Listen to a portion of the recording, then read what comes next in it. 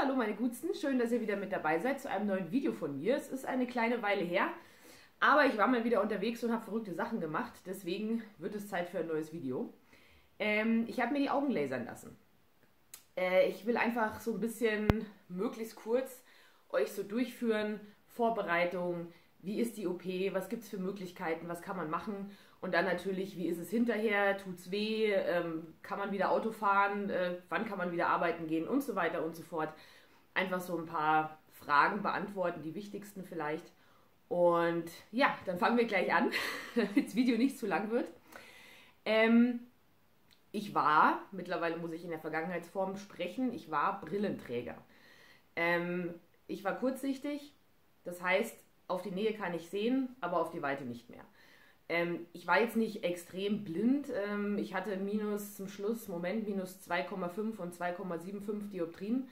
Ähm, aber auf jeden Fall so blind, dass ohne Brille keine Option war. Und ja, was soll ich sagen? Irgendwann hat es mich einfach genervt. Einfach, Brillenträgern brauche ich nichts zu erklären, die kennen das alles selber. Für Leute, die keine Brille tragen, du hast einfach ständig was im Gesicht. Du hast immer einen Rand. Egal, ob du eine Brille auch ohne Rand hast oder mit, mit ganz dünnem Rand oder vielleicht sogar eine Statementbrille. Du siehst einfach immer in deiner Peripherie, da ist irgendwas. Und irgendwann hört das Blickfeld auf. So der Klassiker beim Autofahren. Ich kann nicht einfach kurz mit den Augen einfach nur nach drüben linsen, um zu schauen, was im Spiegel passiert. Ich muss meinen Kopf drehen, weil es einfach da hinten in dieser Ecke diesen kleinen, diese kleine Lücke gibt, wo ich nichts mehr sehe. Dann beim Sport. Ähm, ich zum Beispiel, ich reite, wie ihr wisst. Ähm, es ist viel Staub manchmal in der Halle, dann ist die Brille voll. Oder du bist ausreiten, äh, weiß ich nicht, irgendwo durchs Gebüsch, dann kommt ein Ast, Busch, hast du irgendwie Wassertropfen auf der Brille, das ist wahnsinnig nervig, hast vielleicht jetzt nichts dabei, wo du schnell abwischen kannst. Ständig ist deine Brille schmutzig, äh, es spiegelt, wenn du Auto fährst, nachts mit Regen, also das war für mich immer super unangenehm, ähm, wenn ich nachts bei Regen Auto gefahren bin, weil ich eh schon so eine Aura habe, sage ich mal, das heißt, wenn ich Lichter sehe, habe ich immer diesen extremen Lichtschein drumherum, was dann wahnsinnig blendet. Wenn dann noch das Wasser dazu kommt auf der Windschutzscheibe, auf der Straße und so weiter. Ja, und was mich am allermeisten immer genervt hat, ist das Problem mit Sonnenbrille. Ich trage gefühlt seit, ja, seitdem ich Brille habe, also seit ungefähr, seitdem ich 17 bin, so gut wie nie Sonnenbrille, weil ich eigentlich zwei brauche. Ich brauche eine Sonnenbrille mit Stärke, weil wenn ich meine Brille einfach ausziehe und die Sonnenbrille drauf tue, logischerweise, ich bin kurzsichtig, ich brauche etwas. Das heißt, du zahlst wieder relativ viel Geld, muss vom Optiker angepasst werden und so weiter. Oder man trägt Kontaktlinsen, die man sich auch wieder kaufen muss, die auch wieder Geld kosten. Und dann brauche ich aber eine Sonnenbrille ohne Stärke, die jetzt natürlich nicht so teuer ist. Aber je nachdem, ich habe das ganz oft gehabt beim Autofahren. Keine Ahnung, du fährst auf die Autobahn, Sonne steht tief, buff, du bist geblendet, die Autos reflektieren, ähm, du bräuchtest eigentlich eine Sonnenbrille wenn ich jetzt eine Brille trage in dem Moment, müsste ich jetzt während der Autofahrt bei 120, 140, 160 schnell meine Brille ausziehen, irgendwo safe hinlegen, damit sie nicht kaputt geht. Dann muss ich die neue Brille aufziehen. Es ist ein Struggle, genauso im Urlaub am See. Du musst immer Ersatzkontaktlinsen dabei haben. Falls dann irgendwie da was nicht funktioniert, müsstest du eine Ersatzbrille dabei haben oder du hast von vornherein eine Brille auf, was man jetzt vielleicht nicht möchte, wenn man gerade am Strand liegt und baden geht. So, the struggle is real und ähm, irgendwann hat das dann so ein Ausmaß angenommen, dass es mich einfach wahnsinnig angegast hat. Ähm, dann hat meine Schwester vor, weiß gar nicht, drei oder vier Jahren beschlossen, sich die Augen lasern zu lassen. Ähm, und ich war da natürlich involviert, wir haben uns unterhalten, sie hat mir alles erklärt. Ich habe sie auch dann zur OP gefahren an dem Tag der, ähm, der Operation. Und da war dann so das erste Mal, wo ich mir gedacht habe, so Moment, vielleicht sollte man was dagegen tun. Und nachdem dann meine Schwester auch total begeistert war und oh, du fühlst dich wie ein neuer Mensch und du siehst auch irgendwie ganz anders, äh, weil die Brille, auch wenn du zwar scharf siehst, aber du hast ja immer eine versetzte Lichtbrechung, weil du hast erst die Brille, dann ist noch mal ein kurzer, eine kurze Distanz, bis es dann in deine Augen geht. Also sie meinte, man sieht gefühlt mehr 3D als mit Brille tatsächlich, wenn man es dann hat lasern lassen. Ich war begeistert ähm, und habe mir dann gedacht, das will ich auch machen. Ähm, zur Örtlichkeit, das ist das Augenlaserzentrum, nee, Entschuldigung, das Augenzentrum München nennt sich das. Die haben eine Praxis am äh, Max-Weber-Platz und dann die OP findet in der Messestadt Riem statt. Ähm, da war meine Schwester, so bin ich draufgekommen und war eigentlich begeistert, weil von allem, was sie erzählt hat, hat das einen sehr guten Eindruck gemacht, auch von den Referenzen im Internet und so weiter und so fort. So, also habe ich beschlossen, das will ich auch. das läuft dann im Endeffekt so ab. Ähm, es gibt quasi drei Termine. Es gibt eine, einen Beratungstermin, es gibt eine Prä-OP-Untersuchung und dann gibt es die OP an sich. Und dann noch Nachbehandlungstermine, Nachkontrollen, aber das ist nicht so wichtig, sage ich mal. So, das heißt, ich habe beschlossen, ich mache das, ich habe dort angerufen, habe einen Termin ausgemacht. Der erste Beratungstermin ist im Endeffekt nur, ähm, um dich zu beraten. Also das heißt, die ähm, Dame oder der Herr erklärt einfach, was ist so eine Augen-OP, was wird operiert, wie wird es operiert, was gibt es für Möglichkeiten, was muss man beachten. Und dann werden aber tatsächlich auch schon so, ähm, ich weiß gar nicht, drei, vier Tests durchgeführt, um so die, erste, die ersten Parameter deines Auges abzuchecken, um zu gucken, ob du überhaupt geeignet bist für eine OP. Frag mich jetzt nicht nach den Details, ich bin nicht dieser Arzt, ich habe das nicht gelernt, also das machen die dann mit euch, aber es geht äh, zum Beispiel um Hornhautdicke oder Hornhautelastizität, weil natürlich die Hornhaut in irgendeiner Form beschädigt wird, geschnitten wird, weggelasert wird, erkläre ich gleich noch. Und wenn die von vornherein zu dünn ist, dann läuft man natürlich Gefahr, dass da später Probleme entstehen. So. Wichtig, diese Voruntersuchung kostet. Ich glaube, es waren knapp 40 Euro, die man selber zahlen muss. Überhaupt die ganze Untersuchung ist nicht von der Krankenkasse abzusetzen. Ähm, das heißt, ich glaube, Krankenkassen übernehmen, wenn man extrem kurzsichtig ist, ab, weiß ich nicht, minus 7, 8, 9 Dioptrien gibt es Möglichkeiten, weil es dann als eine Art Behinderung betrachtet wird. Aber in dem Bereich, wo ich mich bewege, das ist eine Schönheits-OP. Das heißt, du kriegst keine Kosten erstattet und äh, du wirst auch nicht krankgeschrieben. Das muss einem vorher klar sein. Das sagen die dir aber auch oft genug, also von dem her okay. Aber der erste Termin kostet. Bei mir wurde festgestellt, es funktioniert, man kann mein Auge lasern. Und dann hat es ungefähr nochmal drei Jahre gedauert, bis ich es dann tatsächlich gemacht habe, weil man braucht das Geld. Es waren noch andere Sachen dazwischen, die erstmal Priorität für mich hatten. Und dann war ich, ich glaube so April rum, war ich dann bei meiner Schwester, April, Mai. Und irgendwie sind wir wieder aufs Thema gekommen und das war wirklich so, auf einmal war so dieses, ich habe keinen Bock mehr auf Brille. Ich habe keinen Bock mehr, das muss jetzt aufhören, ich will jetzt diese OP machen. Geld war da, alles hat gepasst, habe ich gesagt, so und jetzt auf geht's. Und ihr kennt es vielleicht, wenn man irgendwas hat, was man unbedingt will und worauf man schon eine ganze Weile wartet, irgendwann kommt zu der Moment, wo du das Gefühl hast, ich kann jetzt nicht mehr. Es muss jetzt passieren, ich kann einfach nicht mehr. Und das war bei mir genauso. Auf einmal war das so, es war in meinem Kopf, ich war so gehypt, ich hätte am liebsten gleich meine Brille aus dem Fenster geschmissen, so unter Motto weg damit. Es musste jetzt sein. Und äh, ja, dann habe ich da angerufen ähm, beim Augenzentrum und habe gefragt, ob ich jetzt nochmal eine Voruntersuchung machen muss, um das, vielleicht hat sich ja was verändert, oder ob ich direkt zu dieser Vor-OP-Untersuchung gehen kann. Und die waren so nett, haben gesagt, natürlich kein Problem, kommen Sie direkt und dann machen wir diese letzte äh, Untersuchung vor der OP. Ähm, diese Untersuchung dauert ungefähr drei Stunden. Ja? man muss ein bisschen Zeit mitbringen. Ähm, es ist nicht schmerzhaft, es ist kein Problem. Also letzten Endes, keine Ahnung, ich glaube 99% der Tests bestehen einfach nur darin, dass du irgendwo reinschaust, irgendwelche Lichter bewegen sich und dann irgendwann hört es auf. So. Also nicht schmerzhaft, äh, gar nichts. Äh, man bekommt vorher allerdings äh, Augentropfen, die die Pupille erweitern. Damit einfach mehr Licht reinfällt, damit man da besser sieht, was, sage ich mal, hinter den geschlossenen Türen so vor sich geht. Und ähm, also bei mir haben die Tropfen ein bisschen gebrannt. Keine Ahnung, liegt vielleicht auch an mir. Ist aber kein Problem. Man muss einfach nur wissen, dass man danach relativ schlecht sieht und die Augen sind sehr lichtempfindlich, weil halt einfach die Pupille komplett groß ist. Also du siehst dann keine, keine Iris mehr, du siehst wirklich nur noch schwarz. Äh, das heißt, du siehst nicht mehr so gut, du bist sehr lichtempfindlich. Ähm, das heißt, man braucht jemanden, der ihn danach dann nach Hause bringt oder fährt, je nachdem. Was auch gemacht wird bei der Untersuchung, es wird schon ein, ein ich sage jetzt mal, ein digitaler Abdruck deines Auges gemacht und alles festgelegt, wo müssen wir hin, was muss weg, wie viel muss weg und so weiter. Und das wird dann am Tag der OP einfach so gesehen in den Laser eingespult, also wie so eine Art Diskette, keine Ahnung, man steckt es rein und dann kommt da äh, Uschi und dann weiß der Laser, was er machen muss. Diese Abdrücke und diese Messungen werden auch schon gemacht an dem Tag. Ähm, genau. Und dann ging es tatsächlich alles relativ schnell. Ähm, ich habe Glück gehabt, dass ich noch im äh, Juli, ja, 15. Juli, einen Termin bekommen habe. Der nächste wäre dann erst irgendwann Ende des Jahres gewesen. Äh, und dann ist der Tag der OP.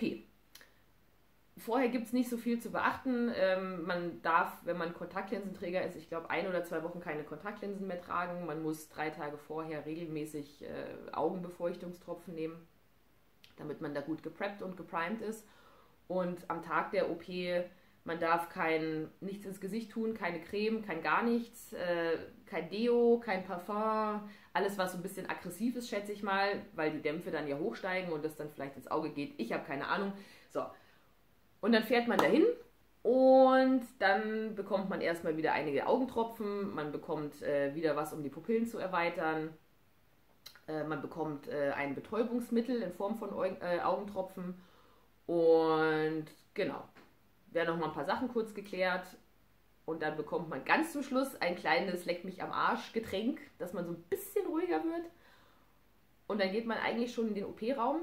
Ich muss tatsächlich sagen, ich war gar nicht so aufgeregt, also schon, schon ein bisschen Magenrumoren, aber ich habe überhaupt keine Angst gehabt. Ähm, ich weiß nicht, ich war einfach nur voller Vorfreude und konnte gar nicht erwarten, dass es jetzt endlich soweit ist und dass es dann auch endlich vorbei ist und ich meine Brille wegpacken kann die waren auch alle ganz erstaunt und dann haben wir, ja, sind sie nicht aufgeregt? Ich oh Mai, keine Ahnung, jetzt nicht großartig. Ich freue mich einfach nur tierisch.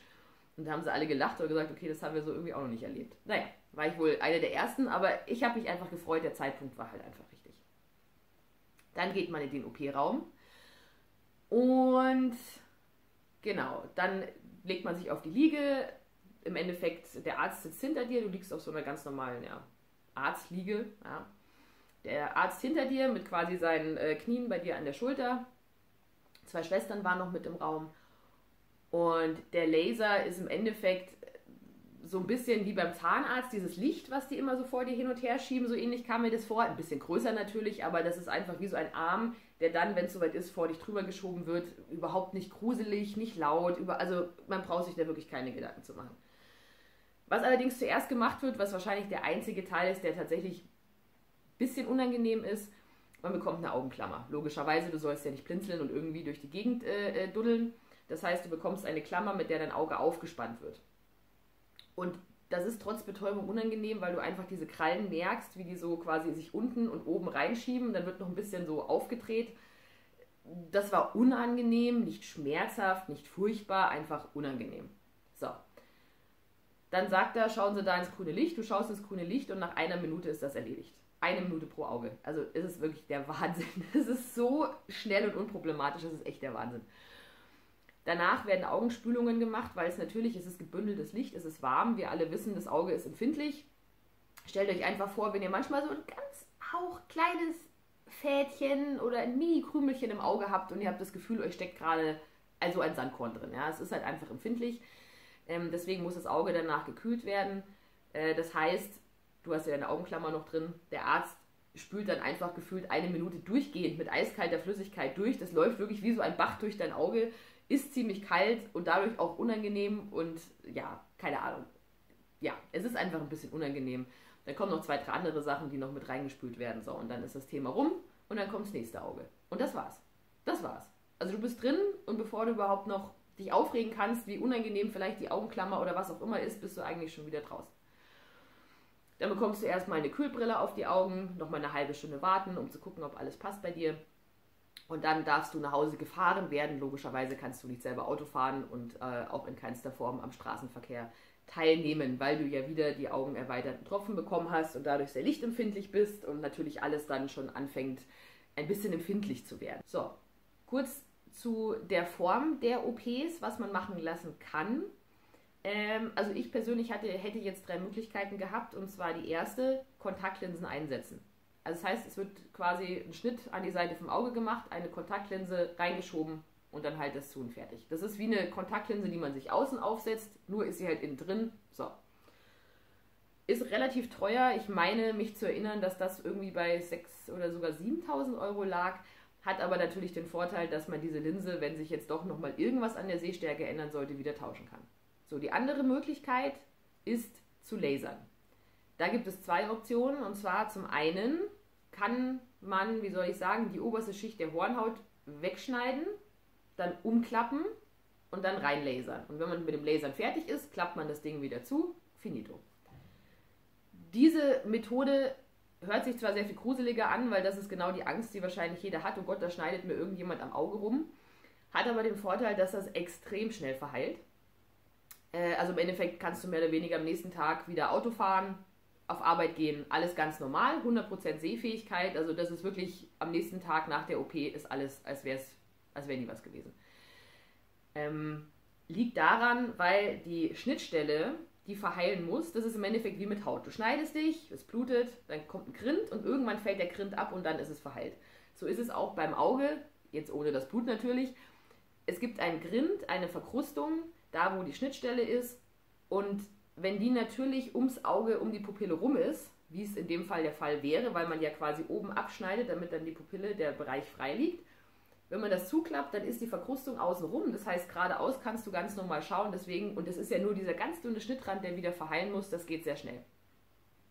Ich habe die andere Methode gewählt, ähm, weil mir das der Arzt empfohlen hat, weil ich so einen Wert hatte, der nicht so optimal war. Und da hat er gesagt, dann können wir nur diese Variante machen, um einfach das Risiko zu minimieren. Und zwar wird da nicht geschnitten, deswegen heißt es auch die No-Touch, das No-Touch-Laser-Verfahren. Ähm, da wird einfach die Fläche, die sonst umgeklappt wird, wird komplett weggelasert. Also du schaust ins Licht, das brennt dir quasi erstmal diesen Bereich frei und dann geht es hinten rein, da wo es arbeiten muss. Der Vorteil ist, keiner schneidet an deinem Auge rum. Der Nachteil ist, verheilt natürlich nicht so schnell, weil einfach die komplette Schicht wieder, die Hornhaut muss von allen Seiten wieder zusammenwachsen. Das dauert sehr viel länger. Ähm, man sieht nicht so schnell optimal, aber ja, das muss im Endeffekt jeder für sich selber wissen, was einem lieber ist oder auch was der Arzt empfiehlt, hängt ja wieder von den Voraussetzungen äh, ab. Das läuft im Endeffekt so ab, man braucht ungefähr eine Woche, hat der Arzt gesagt, bis es wieder komplett zusammengewachsen ist. So, das ist die Phase, wo man aufpassen muss, weil kein Staub, überhaupt keine, nichts in die Nähe, am besten auch keine Creme, überhaupt nichts. Also da muss man sehr vorsichtig sein, weil es halt wie die offene Wunde ist. Dann kommt die Phase, wo das aufeinander trifft. Also die, die Zellen wachsen quasi von außen zusammen, treffen aufeinander. Dann biegt sie es hoch, weil es sich wie so, wie so zwei Sandhaufen, die man zusammenschiebt, auftürmt. Dann sieht man relativ schlecht für eine kurze Zeit und es ist auch ein bisschen unangenehm weil du dann wieder dieses Fremdkörpergefühl hast, dann legt sich das nach unten und das ist der Moment, wo es dann eigentlich vorbei ist und super ist.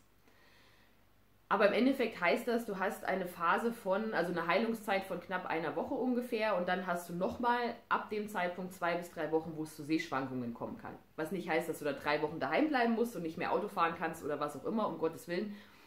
Du kannst theoretisch auch schon nach drei Tagen wieder arbeiten gehen. Du musst halt sehr, sehr vorsichtig sein, dass da nichts reinkommt. Und schminken geht natürlich nicht, Staub und so weiter, muss man aufpassen. Und ja, die ersten zwei Tage, um jetzt wieder zu meinem Prozess bis dato zurückzukommen, die ersten zwei Tage waren schon unangenehm.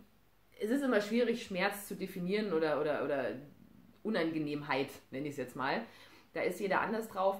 Ich fand es einfach nur sehr unangenehm, weil dieses Fremdkörpergefühl ist wahnsinnig nervig. Bei mir waren die Augen extrem angeschwollen. Also ich konnte tatsächlich für ungefähr ja, 24 Stunden, lass es 30 gewesen sein, konnte ich meine Augen eigentlich überhaupt gar nicht aufmachen. Also ihr seht, ich habe eh schon sehr kleine Äuglein. Und wenn die dann noch zugeschwollen sind, ja, geht halt gar nichts mehr. Also ich habe wirklich faktisch meine Augen fast nicht aufbekommen. Wirklich nur so ganz kleine Millimeter Schlitze. Und ähm, ja, und dann hat es teilweise, man merkt so am Augenrand, hat es bei mir noch gebrannt. Also bei mir hat sich angefühlt wie so eine krasse Bindehautentzündung. Man ist wahnsinnig lichtempfindlich, also wirklich, du sitzt dann äh, relativ im Dunkeln und äh, kleinste Lichtquellen sind einfach unangenehm. Also jetzt nicht, dass dir einer mit dem Dolch ins Hirn sticht und du ah, schreien zusammenbrichst, es ist einfach unangenehm. Man möchte einfach, man möchte einfach weg, man möchte wieder ins Dunkel. Ähm, genau, das heißt, ich saß zwei Tage auf der Couch, nämlich genau hier, ja. Ihr alle kennt vielleicht die, die, die ähm, treuen Simpsons-Fans, so wie ich, ja die kennen äh, die Kuhle in der Couch von Homer Simpson, die er sich über Jahre mühsamst da reingesessen hat. Und so ähnlich war das bei mir. Ich habe meine Kuhle in zwei Tagen eingesessen, weil ich wirklich die ganze Zeit nur in der Ecke saß und Fernsehen gehört habe. Das war das Einzige, was ging, weil, ja, aus Handy schauen ist nicht möglich. Fernsehschauen ist sowieso grundsätzlich nicht möglich. Das dauert ungefähr drei, vier Tage, bis das halbwegs funktioniert. So, genau, das ist unangenehm. Ich war allerdings erstaunt, nachdem ich dann ungefähr nach ja, ich weiß gar nicht, so drei Tagen, zweieinhalb Tagen wenigstens mal kurz wieder für fünf bis sechs, sieben Minuten meine Augen aufmachen konnte, wie scharf ich das schon gesehen habe. Das war voll mind-blowing, ja. Ähm, aber viel geht noch nicht. Ja, also man muss wirklich, man schont sich. Also ich habe von dem, von, von dem, ähm, von dem Ärzteteam, ich habe zwei Kühlbrillen mitbekommen. Also ich saß eigentlich zwei Tage mit Kühlbrille auf der Couch und habe gehofft, dass es besser wird. Was ein aber motiviert und was hilft und es erträglicher macht, ist, es geht tatsächlich sehr schnell. Also jeden Morgen, wenn ich aufgestanden bin, war es gefühlt 30 Prozent besser als am Vortag. Also man merkt wirklich dann doch sehr schnell, so unangenehm wie es ist, wie es besser wird. Du kannst am Vorabend, ich weiß das erste Mal, wo ich am, am Vorabend konnte ich, ich glaube fünf oder sechs Minuten hatte ich die Augen offen, um die Spülmaschine auszuräumen und danach saß ich wieder, oh, Entspannung mit meiner äh, Brille auf der Couch. Und am nächsten Morgen bin ich aufgewacht und konnte schon fast durchgehend eine halbe, dreiviertel Stunde meine Augen offen lassen. Dann wollte ich wieder kurz ein bisschen zumachen, aber so und am Ende des Tages habe ich komplett meine Augen offen gehabt. Also das geht wirklich sehr schnell. Ähm, wichtig ist, man bekommt sehr viele Augentropfen. Das heißt, du musst jede Stunde tropfen. Dann gibt es noch zwei Tropfen, die du alle äh, dreimal am Tag nehmen musst, also morgens, mittags, abends. Das ist sehr wichtig, damit das Auge feucht bleibt, damit es weiter desinfiziert wird, dass die Heilung vorangetrieben wird. Das fand ich am Anfang tatsächlich auch sehr nervig und unangenehm. Also nicht nervig, aber unangenehm, weil ich meine Augen nicht aufbekommen habe. Meine Augen haben extremst getränt. Also ich habe gefühlt meine Augen ein bisschen bewegt und dann Sturzbäche von Tränen wirklich nach unten geflossen. Also es ist, hat getropft auf die Couch, das war der Wahnsinn. Du bist lichtempfindlich und wenn du dann jede Stunde ins Bad musst und deine Augentropfen reinmachen, du bekommst deine Augen eh schon kaum auf. Das heißt, ich habe versucht, so gut es geht, ohne irgendwie Schmutz ans Auge zu bringen, zu ziehen, mich hinzubeugen, diese mini kleine Öffnung zu finden, reinzutropfen. Man sieht ja auch nichts. wenn ich in den Spiegel schaue, sehe ich fast nichts. Ja? Weil ich halt, das passt sich halt alles an, das ist noch nicht perfekt. Und dann kommt das Lichtproblem, weil ich kann es ja nicht im Stock finstern machen. Aber wenn, wenn ich irgendwo einen Lichtschein habe, also ich hatte meistens quasi mein Wohnzimmer dunkel, ich hatte mein Bad dunkel und habe dann irgendwo ganz hinten in der Ecke habe ich so einen Schlitz vom Rollo äh, offen gelassen und habe dann versucht, anhand dieses Lichtstrahls irgendwie die Öffnung meines Auges, also es war ein Chaos und es war nervig und ach Gott, mein Gott. Aber wie gesagt, es geht schnell vorbei und wenn es dann vorbei ist, dann es wird wirklich, sagen wir mal 24 Stunden ist ein bisschen für ein A ähm, und danach wird es einfach immer besser und diese, dieses Fremdkörpergefühl geht auch relativ schnell vorbei. Also ich glaube, nach zwei Tagen habe ich überhaupt gar nichts mehr gemerkt. Und mit zwei Tagen meine ich wirklich faktisch 24 Stunden. Das heißt, ich war an einem Mittwoch bei der OP um 15 Uhr, ja. Und ähm, ja, Donnerstag, Freitag, ja gut, sagen wir vielleicht so drei Tage. Am Samstag war das eigentlich, konnte ich meine Augen auflassen und das war wieder alles tutti. Und ich hatte aber schon am Freitag eigentlich kaum noch Schmerzen. Also wirklich der Hammer, der absolute Hammer. Und jetzt bin ich gerade so in der Phase, wo sich noch einige Sachen anpassen. Ich habe jetzt die letzten zwei Tage tatsächlich relativ schlecht gesehen, auf die Nähe und auf die Weite. Ähm, das ist aber wahrscheinlich, weil jetzt gerade diese Verkrustungsphase ist. Das heißt, es ist zugewachsen und jetzt habe ich wie so ein Grind auf meinem Auge. Und wenn der dann weg ist, dann ist alles, dann habe ich quasi clear sight, ja, dann sehe ich alles. Ähm, ja, ist aber auch kein großes Problem. Ich bin nur einfach sehr froh, dass ich keine Brille mehr habe und alleine jetzt hier auf der Couch zu sitzen und so nach hinten aus meinem Fenster zu schauen. Deswegen schaue ich auch immer so nach drüben, weil ich immer so ein bisschen rumgucke, ob es jetzt äh, wieder besser wird vom Sehen. Und wenn ich dann so rausschaue und äh, sehe einfach bis zum Nachbarhaus, was da alles passiert und Blumen auf dem Balkon und also es ist der Hammer. Ah ja, ganz wichtig, das Wichtigste wahrscheinlich, ähm, Kosten. Ich habe jetzt gezahlt knapp 3000 2,9, 2,8, irgendwas um die Drehe. Da ist dann aber schon diese ähm, Prä-OP-Untersuchung mit dabei, die natürlich auch, ich glaube, die kostet ungefähr 500, 600 Euro allein, weil du natürlich viele Spezialgeräte hast und so weiter. Du bekommst äh, relativ viele Augentropfen als so Grundpaket schon mal mit.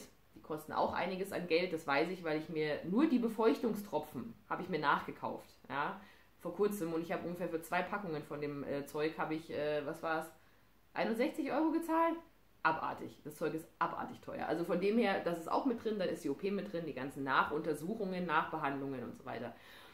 Ähm, ja, finde ich, es ist ein Geld natürlich, aber dafür, dass ich für den Rest meines Lebens keine Brille mehr tragen muss, finde ich es okay, zumal ich habe jetzt für meine letzte Brille ich glaube, 700 Euro gezahlt und das war nicht das Gestell. Nein, ich trage kein Gucci Spezial bla, sondern mein Gestell war echt ziemlich günstig. Ich glaube, das war 120 Euro. Und nur die Gläser ja, haben diese restlichen 500, 600 Euro ausgemacht, weil ich mir halt dachte, wenn ich schon den ganzen Tag Brille tragen muss und diese ganzen Jahre, dann versuche ich wenigstens auf Qualität zu achten. Ja, so wie bei Schuhen von mir aus. Keine Ahnung, ich muss ständig Schuhe tragen. Ich sollte vielleicht nicht die 12,90 Euro Schuhe tragen, vielleicht einfach welche, die ein bisschen besser für meinen Fuß sind. So, ähm, und dann ist man ganz flux und ganz geschwind bei dem Geld. Und wenn du jetzt überlegst, du brauchst vielleicht alle fünf Jahre, vielleicht manchmal auch öfter eine neue Brille, ja, das ist teuer und ähm, nervig und unpraktisch und ich bin einfach wahnsinnig froh, dass ich das Problem jetzt hoffentlich dreimal Holz für die nächsten 150 Millionen Jahre nicht mehr habe. So, dann war es das von mir soweit. Äh, vielen Dank fürs Zuhören. Ich freue mich auf äh, Fragen, Anmerkungen. Wie sieht es bei euch aus? Könntet ihr euch das auch vorstellen? Seid ihr Brillenträger? Habt ihr Angst davor? Ich habe tatsächlich auch viele in meinem Bekanntenkreis, die sagen, um Gottes Willen, niemals. Ich will es zwar eigentlich auch, aber niemals könnte ich mir vorstellen, jemand an mein Auge ranzulassen. Was ist, wenn ich blind werde? Um Gottes Willen. Ah ja, übrigens das auch. Man kann nicht blind werden. Man kann es nicht. Du kannst nicht während der Laser-OP erblinden. Der schlimmste Fall der Fälle, der allerschlimmste Fall der Fälle. Es gibt einen Stromausfall über gesamt München, Europa, Deutschland, weltweit.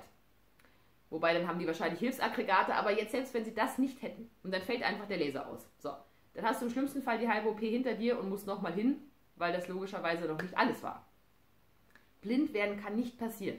Es besteht, wie bei allen operativen Eingriffen, natürlich immer eine Gefahr, dass im Nachgang, wenn es zu Infektionen kommt, wenn, wenn ja, Schmutz in die Wunde kommt oder mal da irgendwas nicht richtig gemacht wird, dass sich dann Infekte entwickeln, die dann dazu führen können, dass eine Beeinträchtigung der Sehfähigkeit entsteht oder im, im schlimmsten Fall der Fälle Blindheit. Ja?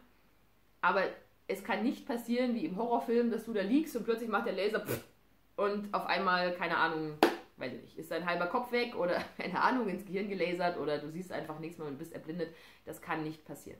Trotzdem verstehe ich, dass viele Leute sagen, es sind meine Augen, wenn da irgendwas passiert und ich danach blind bin. Um Gottes Willen. Oder einfach, weiß ich nicht, mit einem Auge nichts mehr sehe oder whatnot.